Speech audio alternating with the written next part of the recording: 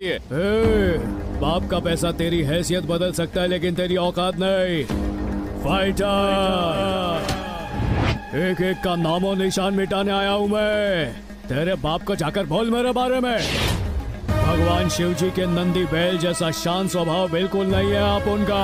माँ दुर्गा को जो अपनी पीठ पर बैठाता है वो शेर हो।